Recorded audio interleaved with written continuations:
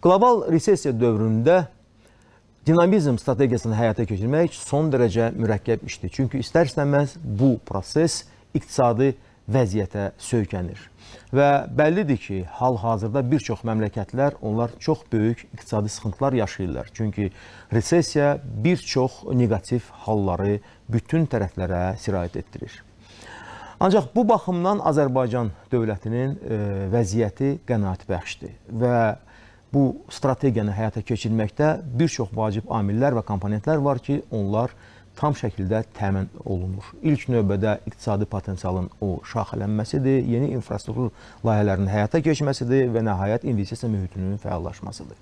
Eləcə də burada regionların inkişafı da xüsusi rol oynayır və təsadüfi deyil ki, prezident İlham Əliyev bizim regionların inkişafına xüsusi diqqət ayırır və tez-tez bölgələrdə olaraq həm də qəbul olunmuş proqramların real olması ilə bağlı öz tövsiyələrini, öz tapşırıqlarını verir və Bilirsiniz ki, hal-hazırda da dövlət başçısı İsmayılı bölgəsindədir. Bu günləri bu haqda daha ətraflı danışmaqdan ötürü hədəfə biz qonağımız e, İqtisadi İslahatların Təhlili və Kommunikasiya Mərkəzinin icraçı direktoru Vüsal Qasımlını dəvət etmişik. Vüsal müəllim, bir daha mən sizi salamlayıram və təşəkkür bildirirəm ki, e, proqramımızda iştirak edirsiniz.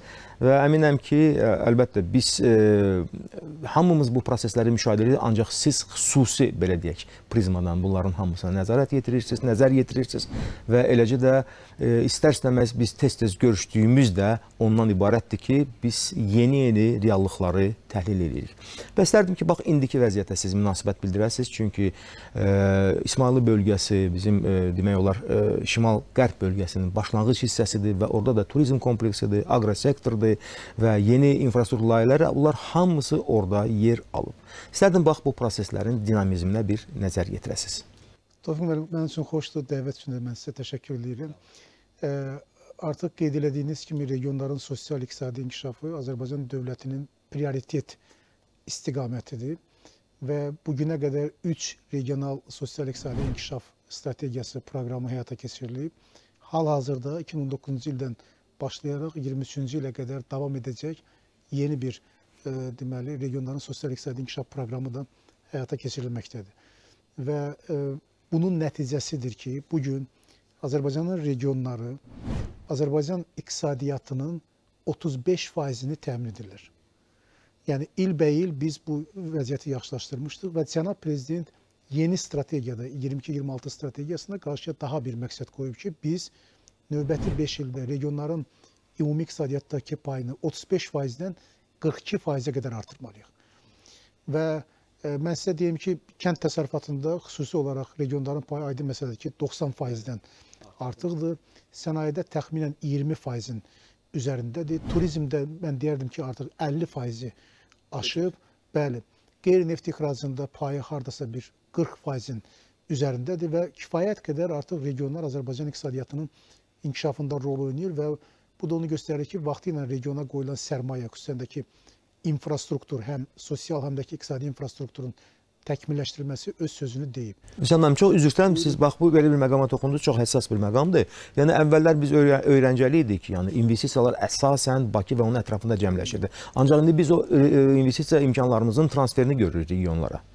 Tamamilə doğrudur və Azərbaycana yatırılan 270 milyard dollardan artıq sərmayənin demək olar ki, təxminən yarısı qeyri-neft sektoruna qoyulur və onun da əksər böyük bir hissəsi məhz regionların e, payına düşür. Və e, mən sizə deyim ki, burada dövlətin bir neçə mexanizmi var ki, konkret regionlarla işləyir. Məsələn, investisiya təşviqi sənədinin böyük bir hissəsi məhz regionların payına düşür. Azərbaycanda yaradılan 7 sənaye parkı, sənaye məhəllələri, aqroparkların əksəriyyəti regionların e, payına düşür. Eyni zamanda bildiyiniz kimi Kənd Təsərrüfat Nazirliyinin xəttindən Azərbaycan Kredit və İnkişaf Agentliyi AKİ onun portfelində bir neçə regional layihə var. Məsələn, deyək ki, güzəştli kreditlərin verilməsidir, subsidiyaların verilməsidir, texnikaların güzəştinə verilməsidir, damazlıq heyvanların güzəştinə verilməsidir. Bu birbaşa regional inkişafa yönəlib.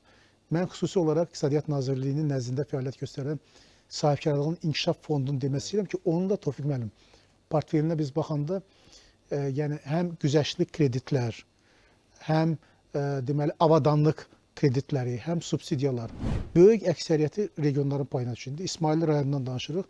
Sahibkarlığın İnkişaf Fondu İsmailli rayonuna bu günə qədər 56 milyon manat güzəştli kredit e, təqdim edib. Respublika üzrə bu artıq 3 milyard manata yaxınlaşır və 40 mindən artıq sahibkar bundan yararlanıb. Onun bir hissəsi də dediyimiz kimi e, İsmailli rayonuna düşür. Və e, kiçik orta biznesin inkişaf agentliyi, istər KOB dostları, istər KOB evləri və digər bu kimi şəbəkələri də bilavasitə daha çox regionların Bəli, e, payına düşür. payına düşür. Və gördüyünüz kimi dövlət müxtəlif mexanizmlərdən istifadə edir. Və yeri gəlmişkən bir məsələni deyim ki, region iqtisadiyyatının əsasını təşkil edən kənd təsərrüfatı artıq bildiyiniz kimi uzun müddətdir ki, torpaq vergisi istisna olmaqla yeri gəlmişkən də cüzi bir məbləğdir. Bütün vergilərdən azad. Azad. Və beləliklə gördüyünüz kimi dövlət bütün mexanizmlərdən istifadə edərək regional inkişafı tətikləyir, regional inkişafı stimullaşdırır və bu bir tərəfdən yadınızdadsa əgər e, Azərbaycanın müstəqilliyinin ilk il- illərində Bakıya böyük bir axış, Axın var idi, urbanizasiya prosesi gedirdi. E, ölkədən kənara bir axış var idi. Yəni bu artıq dayanıb, bu proses dayanıb. Ölkə daxili miqrasiyada, ölkədən kənara miqrasiyada indi statistikanı təhlil edəndə biz görürük ki, bunun qarşısı alınıb. Və artıq regionların e, istər e, kommunal təchizatı, istər iqtisadi infrastrukturu, istər sosial infrastrukturu Bakı ilə heç bir belə deyək ki, fərqi yoxdur. Və kommunikasiyalar da elə bir tərzdə hamısı inşa edilib, çəkilib ki, yəni orada su təchizatı, qaz təchizatı, bütün lazımi avadanlıqlar və s. bunlar hamısı təmin olunur. Və təbii ki, istehsal qüvvələri sıralarında da bir növ e, fəallıq, bir növ e, bir növ hərəkət hiss olunur. Çünki insanlar əvvəllər siz buyurduğunuz kimi e, əyalətdən şəhərə gəlirdilərsə, indi artıq biz görürük ki, şəhərdən də artıq regionlarımıza axın var və orada bizim e, belə deyək də intellektual qüvvələrimiz də o tərəfə meyl göstərirlər. Tamamilə doğrudur və sizin sözünüzə qüvvət olaraq demək istəyirəm ki, Azərbaycanda əsas fondlara yatırılan sərmayənin hər 2 manatından təxminən bir 90 qəpik, 1 manata yaxını regionların payına düşür. Hələ nəzərə alın ki, orada neft qaz yoxdur da, yəni neft qaz Bəli, daha çox. əsasən Bakıda və dəniz bölgəsində. Bəli, bəli. E, Və bu onu göstərir ki, əgər ora investor gedirsə, investor e, bilirsiniz o yerə gedir ki, orada birinci sabitlik olsun. Yəni bu ölkə üzrə sabitlik var. E, İkincisi də ki, infrastruktur e, o səviyyədə inkişaf etməlidir ki, çünki infrastruktur nə qədər yaxşı olsa, investorun xərci o qədər aşağı düşür. Və üstəlik də ki, dediyimiz kimi xüsusi təşviq layihələri, investisiya təşviqi sənədindən tutmuş sənaye zonaları, aqroparklara qədər, digər məsələlərə qədər Bəli. investorların e, sərmayə qoymasına daha çox e, maraqlı eləyir və nəticədə artıq dediyimiz kimi regionlar az qala ölkə üzrə qoyulan sərmayənin yarısını cəlb edirlər. Əgər qeyri-neft sektoru üzrə götürsək, artıq yarısından çoxu regionların payına düşür. Yəni ölkə daxili inteqrasiyada öz templəri ilə inkişaf edir də. Çünki faktiki olaraq biz əgər ə, bu yaxınlara qədər düşünürdük ki, ölkə Azərbaycan Respublikası özü məsəl üçün regiona inteqrasiya etməlidir, ancaq ölkənin xaricdə əldə olunan hər bir uğuru istər-istəməz ölkə daxilində toplanmış potensiala söykənir. Və bu baxımdan biz görürük ki, daxildə də bizdə inteqrasiya dinamik bir şəkildə davam Hətta edir. burada Tofiq müəllim, sizin icazənizlə biz bir regenerasiya sözü istifadə edirik. Bəli. Bilirsiniz ki, canlı orqanizmlərin Bəli, bəli. öz hissələrini bərpa etmək etmək e, xüsusiyyətləri var.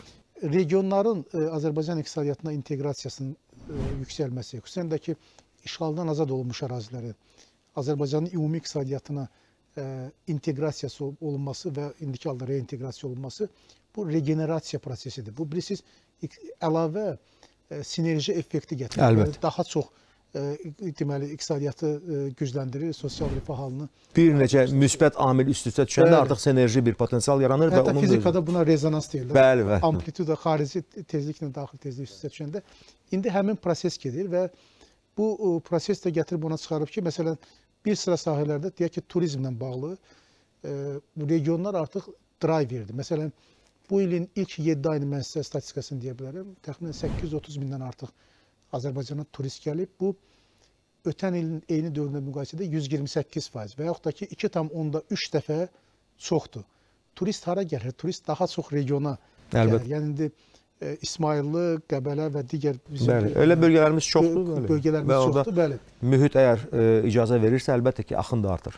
Tamamilə doğrudur. Vüsal müəllim, bax e, biz görürük ki, yəni faktiki olaraq e, istənilən halda Azərbaycanın daxilində gedən inkişaf meylləri onlar əsaslı bir proqrama söykənir. Yəni burada körtəbii heç bir addım yoxdur və biz görürük ki, dövlət başçısı bütün əsas məqamları, komponentlərin hamısını dəqiq hesablamalar e, səviyyəsində həyata keçirir və elə olduğu halda deməli proqnozlar da özünü doğruldur. Elə deyilmi? Tamamilə doğrudur və dövlətin indiki halda bütün resursları bir neçə milli prioritetdə, hansı ki, cənab prezident tərəfindən müəyyənləşib, istiqamətlənib. Bu həm ə, ölkənin sosial-iqtisadi inkişaf strategiyasından bağlı 5 milli prioritetdir. Orada bildiyiniz kimi dayanıqlı iqtisadiyyatdır, inklüzivliyin təmin olunmasıdır, insan kapitalının inkişafıdır, böyük qayıdışdır və nəhayət yaşıl artım ölkəsinə çevrilməkdir. Ə, bu ilin konkret əgər biz dövlətin prioritetlərinə baxsaq, bu ə, büdcə dürüstləşməsində açıq-aydın göründü və bildiyiniz kimi cənab prezident ilin əvvəlindən hökumətin qarşısında yeni vəzifələr, yeni prioritetlər müəyyənləşdirmişdi. Bunlardan birincisi e, milli təhlükəsizlik və milli deməli milli təhlükəsizlik və e, müdafiə ilə bağlı məsələlərdir. Artıq Azərbaycan dövlət büdcəsinin funksional olaraq 5,1 milyard manatı illik ifadədə məhz milli təhlükəsizlik və müdafiə istiqamətinə yönəlir. Bilirsiniz ki, bunun əhəmiyyəti həddindən Həddən çox böyükdür böyükdür. və ölkədəki o sosial-iqtisadi sabitliyin əsas ə, təminatçısı elə bizim milli təhlükəsizliyimizdir və ə, mən gündəlik ifadəni deyə bilərəm. Gündəlik ə, Azərbaycan dövlət büdcəsindən 14 milyon manat bu istiqamətə vəsait xərclənir. İkinci istiqamət ə, bildiyiniz kimi böyük qayıdışla bağlıdır. Bu il əvvəlində biz dövlət büdcəsində bu istiqamətə 2,2 milyard manat vəsait nəzərdə tutmuşduq. İlin ortalarında dövlət büdcəsinin dürüstləşməsindən sonra daha 500 milyon manat vəsait ayrıldı və bütövlükdə həm böyük qayıdış, həm də ki ölkənin digər hissələrində, xüsusən də ki regionlarda infrastruktur layihələrinin həyata keçirilməsi üçün deməli Tofiq müəllim əlavə də 1,3 milyard manat vəsait Vəsait, bəli. təmin olundu.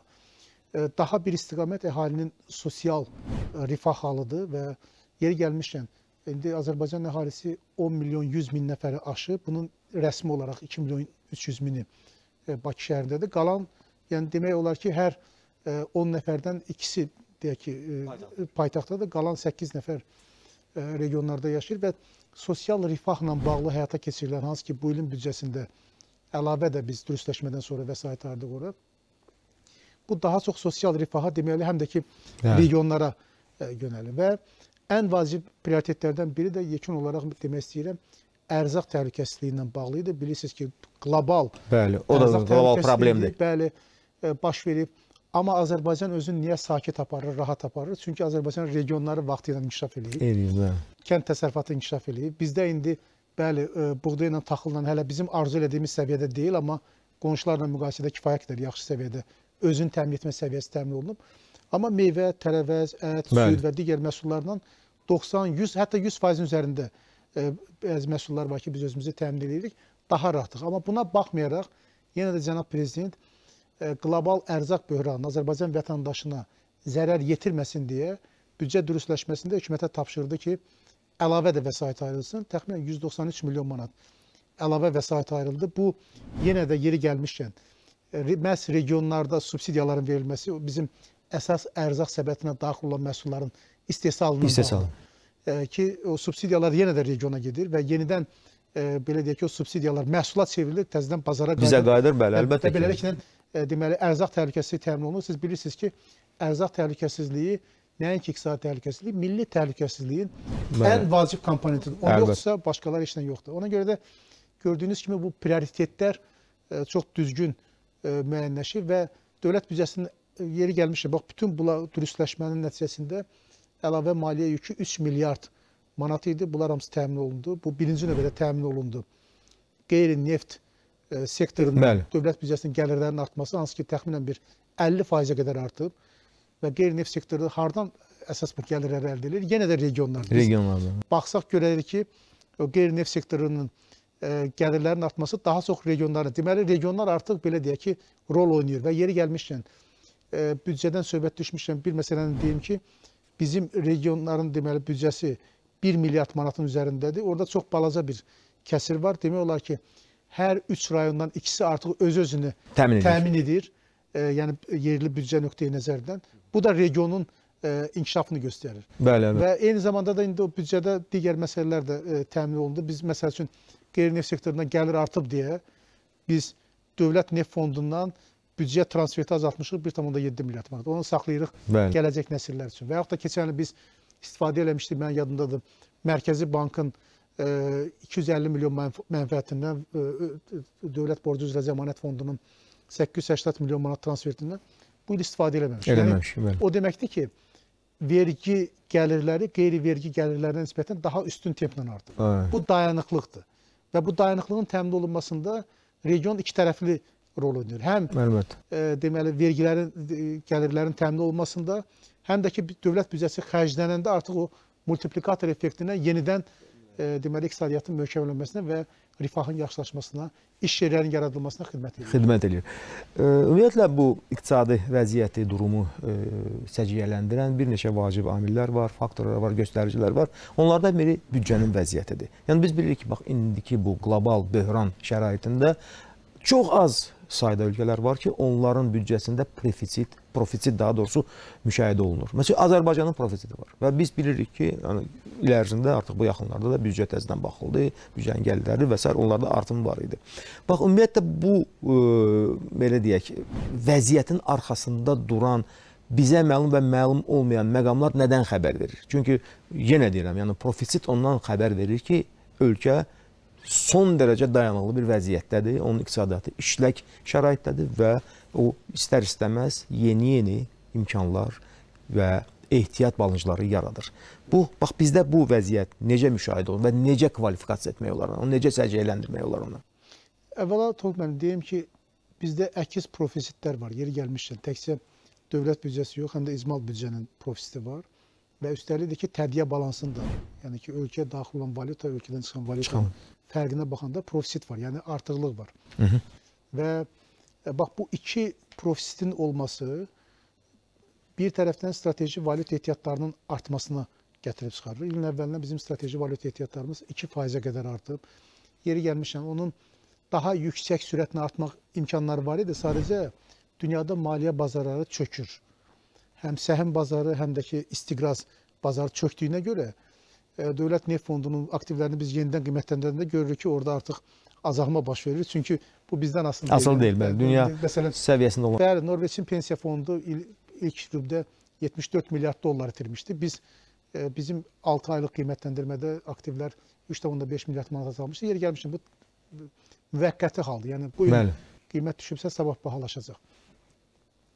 Yəni bu baxımdan bizim e, belə deyək ki, üstünlüyümüz var və strateji ehtiyatlarımız var. manevr imkanlarımız var, Bəli. deyil mi? Üstəlik bu imkan verir ki, manat e, sabit olsun. Çünki e, bilirsiniz, həm tədqiyə balansı, həm də ki büdcənin balansı e, manatın sabitliyi üçün vacib şərtdir. Manat sabit olanda biz xarici inflyasiyanı ölkəyə gətirmirik. Niyə bizdə bizdə bəli indi inflyasiya var, ya, yəni 12% aşıb və hamı da onu hiss eləyir. Amma müqayisə eləyəndə məsələn Türkiyənin inflyasiyasından hansı ki 70%-in üzərindədir.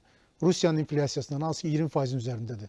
Ukraynada aydın məsələdir ki, tamam başqa bir e, situasiyadır və lap yaxın coğrafiyanı götürəndə görürük ki, bizdə inflyasiya o qədər sürətlənməyib, çünki manat sabit. Yəni manat e, belə deyək ki, Məzənnəsini salın. inflyasiyanın Azərbaycana sirayət eləməsinə imkan vermir. Və bu bizim e, əsas üstünlüklərimizdən biridir. Əlbəttə, e, bu dediyiniz profisitin bir e, müsbət e, tərəfi də ondan ibarətdir ki, bu fiskal dayanıqlıq yaradır. Yəni e, bu peşəkar dildə desək, e, icmal büdcənin e, e, deməli qeyri-neft baza kəsirinin, qeyri-neft ümumdaxili məhsuluna nisbəti getdikcə azalır. Deməli, biz e, neft gəlirlərindən daha az asılı vəziyyətə düşürük. Axırıncı mən sizə göstəricini deyə bilərəm. Bizim büdcəmizdə indi Allah'a şükür ki, qeyri-neft gəlirləri artıq 52,5 faizdir. Və yerdə qalanı e, neft gəlirləri. Yəni bu o deməkdir ki, biz neft gəlirlərindən daha az aslı Asılı vəziyyətə düşürük ki, bu da uzun müddətli dönəmdə əlbəttə bizim e, xeyrimizə olan bir məsələdir. Yəni buna büdcə qaydaları deyirlər və e, o büdcə qaydalarından əlavə əməliyyat hədəfinə də e, fiskal əməliyyat hədəfinə də biz e, əməl edirik və ona görə gördüyünüz kimi e, bütövlükdə bu profitin olması e, belə deyək ki, ölkə üçün çox müsbət bir Haldır. haldır. Və sizin də dediyiniz kimi bizim indi yeri gəlmişkən e, deməli e, büdcənin profitinin ümumdaxili məhsula nisbəti təxminən bir 5%-in ətrafında hərəkət eləyir aşağı yuxarı. Amma Tofiq müəllim, mən sizə dünya üzrə göstəricini deyə bilərəm ki, bu il Beynəlxalq Valyuta Fondu proqnozlaşdırıb bütün dünya üzrə ki, Bəli. fiskal balansın müdaxilə məhsullarına nisbəti mənfi 5% olacaq. Mənfi 5. O mənfi zonadadır 5%. Biz müsbət zonada 5. Deməli 10%lik arada bir fərq var. Fərq var. Hə. Və bu da dövlətə əlavə problem yaradır. Yəni dövlətin fiskal balansı ümumdaxili məhsulla nisbətdə mənfi zonada olanda dövlət nə etməlidir? Ya valyutanı ucuzlaşdırmalı, devalvasiya etməlidir, ya xaricdən borc götürməlidir, ya vergini artırmalıdır ki, çünki bilirsiniz, sən nəyisə hardansa götürüb, nəyisə Götür- hansısa xərici bağlamalısan. Bağlamalısın. İndi Azərbaycanda Allaha şükür ki, bu məsələlər yoxdur. Yəni biz öz gücümüzə həm iqtisadi artımın təmin olunması, həm tədqiqat balansının e, müsbət saldosu, həm icmal büdcənin, həm dövlət büdcəsinin sizin dediyiniz kimi profiti, bütün bunlar Azərbaycanın davamlı və rahat inkişafı üçündür. Yəni biz özümüzü çox rahat hiss. Bütün Vəziyyətimizin də dayanıqlı olmasına Bəli, işarə verir. Misal müəllim, belə ki, hər bir dövlətin qarşısında çox mühüm məsələlərdən biri ondan ibarətdir ki, milli ixracı artırsın. Və buna əlbəttə ki, çatmaq, buna nail olmaq bir o qədər də asan iş deyil, çünki ilk növbədə texnologiyalar olmalıdır, sonra düzgün balanslaşdırılmış bir siyasi iradə olmalıdır, yaxınlaşma olmalıdır bu proseslərin hamısına, çünki biz yenə də istər-istəməz dünyada gedən o e, reqressiv tendensiyaların, yəni böhranın e, şahidiyik. İstər-istəməz o neqativ meyllər biz tərəfdən də gəlib keçir. Amma biz görürük ki, istər-istəməz Azərbaycanda bax bu istiqamətdə də artıq çox ümidverici bir situasiya formalaşır. Bu nəyin hesabınadır? Ə, Azərbaycanın ə, sizin də qeyd etdiyiniz kimi ixracı sürətlə artır. Elə mən sizə ilk 7 ayın göstəricisini deyə bilərəm. Bizim artıq ixracımız 22 milyard dolların üzərindədir Üzərində. və ə, əlbəttə bu da neft, qaz gəlirlərinin xüsusi rolu var. Çünki neft ə, bilirsiniz ki, ə, qiymətləri hal-hazırda 100 dolların ətrafındadır. Biz onu əvvəlcə 50 dollar proqnozlaşdırmışdıq, daha sonra 85 dollar dürüstləşmiş büdcədə.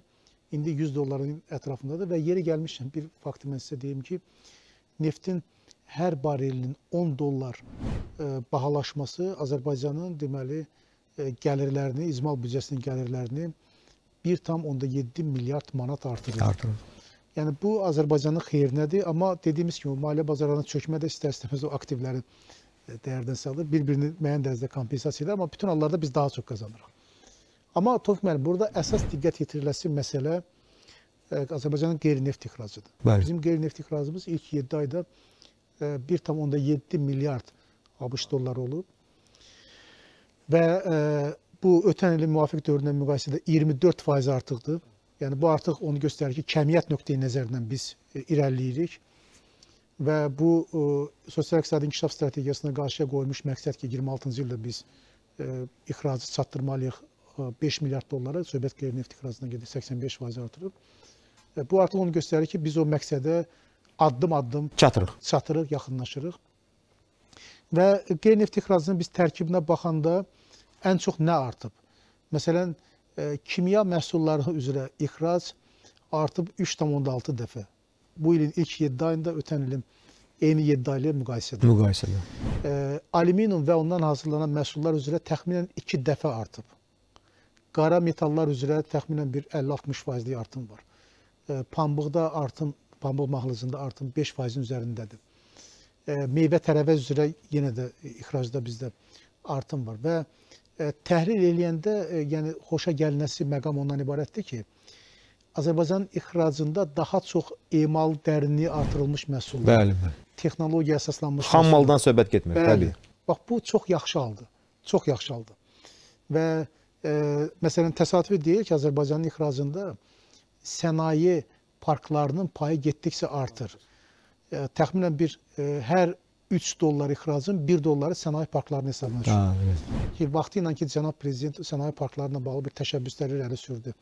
Başda Sumqayıt sənaye parkı olmaq, kimya parkı olmaq şərtindən. Və getdikcə onların rezidentləri də artır da say etibarilə. Əlbəttə artır və rezidentlər artıq 6 milyarddan artıq sərmayə yatırıblar, 7 milyarddan artıq məhsul istehsal olunub, 10 minə yaxın iş yeri yaranıb, hələ 5 min də əlavə iş yeri yaranacaq. Və bu e, sənaye parkları artıq bizim e, deməli ixracımızda belə deyək ki, Dönüş yaradırlar da. sənayenin çəkisini artırır. Artırırlar. Tamamilə doğrudur. Sənayenin çəkisini artırır. Və bu e, deməli çox yaxşı haldır. Çünki biz Müsbət tendensiyadır belə Bəli, deyək. müsbət tendensiyadır. Çünki əlbəttə xam maldansa e, daha dərinləşdirilmiş də- məhsulu məhsul emalı. ixrac etmək e, daha düzgündür. E, Bir faktı deyim ki, bizim ixracımızda dəyişikliklərdən biri ondan ibarət idi ki, əgər ötən ilə qədər e, bizim ixracda söhbət qeyri-neft ixracından gedir. Bu neft qaz ixracı aydın məsələdir ki, bir, bunun bir istiqaməti var, yəni bəlli bir infrastruktur var. Və yeri gəlmişkən buna da çox böyük tələbat var və Azərbaycan artıq Avropanın enerji təhlükəsində daha çox rol oynamağa başlayıb. Bu e, gözdən görünən bir məsələdir. Amma ölkələr üzrə də biz baxanda, təhlil edəndə görürük ki, e, qeyri-neft ixracı üzrə əgər keçən ilə qədər Rusiya öndə gedirdisə, artıq Türkiyə irəli çıxır. E, Çünki biz Rusiyaya daha çox yeyinti məhsulları göndərdik, Türkiyə kimya məhsulları və sənayenin xüsusi çəkisinin artması və. Rusiyadakı Rusiya-Ukrayna münaqişəsi fonunda e, deməli o nəqliyyat logistikanın çətinləşməsi fonunda e, Azərbaycanın e, ixrac coğrafiyasında da e, dəyişikliklər baş verir. Və bu e, yeri gəlmişkən cənab prezidentin e, son müşavirələrdəki tapşırığı bundan ibarət oldu ki, biz təkcə e, ixracın e, strukturunda neftdən qeyri-neftə yox, həm də ki coğrafiya nöqteyi nəzərindən daha çox e, diversifikasiya olunmalıyıq. Yeni Yəni sahələr yaradılmalı. Bəli, yəni yeni ölkələr olmalı. Yəni bilirsiniz e, və son hadisələr də onu göstərdi ki, biz coğrafi diversifikasiya getsək bu daha yaxşı olar. E, bu- Burada Çin bazarı var, Körfəz bazarı var, Avropa bazarı var, elə Türkiyənin öz bazarı var. Türkiyədən bizim indi bildiyiniz kimi imtiyazlı ticarət müqaviləsinin e, qüvvəyə minməsi e, ticarət əlaqələrinə yeni bir e, təkan verib. Yəni bu baxımdan da coğrafi e, diversifikasiya bizim üçün çox genişlənir. Və mən sizə yekunda deyim ki, Azərbaycan dövləti dünyada tanınmış e, 10 ixraca dəstək e, alətlərinin hamısından istifadə eləyir. Yəni burada ixrac e, subsidiyalarından tutmuş, sığorta məsələlərinə, e, digər məsələlərə qədər Azpromo fəaliyyət göstərir, Azeksport fəaliyyət göstərir, rəqəmsal ticarət qovşağı fəaliyyət göstərir. Azərbaycanın xaricdə ticarət nümayəndəlikləri var və s. yəni bütün demək olar ki, e, konfranslar, biznes konfranslar olur, e, t- müəyyən roadshow-lar keçirilir, e, təqdimatlar olur. Biz sərgilərdə iştirak eləyirik. Dövlətin hesabına e, Azərbaycanın qeyri-neft ixracatçıları həmin sərgilərdə təmsil olunurlar və s. Yəni bütün demək olar ki, arsenal tam İstifadə olunur. bəli istifadə olunur ki, bizim ixracatımız bu sürətlə artsın və ona görə də ixracat artır. Bəli, bütün bu bunların hamısını biz e, nəzərə yetirdikdə görürük ki, yəni faktiki olaraq e, ölkədə gedən bütün o islahatlar hamısı özünü doğruldur və ilk növbədə siz bayaqlar vurğuladığınız kimi əsas strateji prioritetlərin hamısına biz addım-addım çatırıq, yaxınlaşırıq. Və əlbəttə ki, bu sonda ilk növbədə insanların rifahına sirayət eləyir və sosial paketlərin yenidən məsəl üçün işlənib və istifadəyə verilməsinə şərait yaradır və burada biz görürük ki, həqiqətən də Azərbaycan dövləti qlobal resessiya şəraitində dayanıqlılıq nümayiş etdirməklə həm öz daxilindəki tələbatlarını ödəyə bilir, həm də ki, xarici eksporta hesablanmış mallarımızı, texnologiyalarımızı çıxarmağa imkanlar yaradır.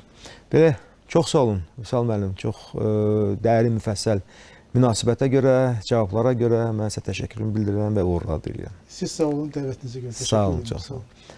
Hörmətli tamaşaçılar, bugünkü hədəfin qonağı Azərbaycan Respublikasında fəaliyyət göstərən İqtisadi İslahatların Təhlili və Kommunikasiya Mərkəzinin icraçı direktoru Vüsal Qasımlı idi. Diqqətinizə görə təşəkkür edirəm. Salamat qalın.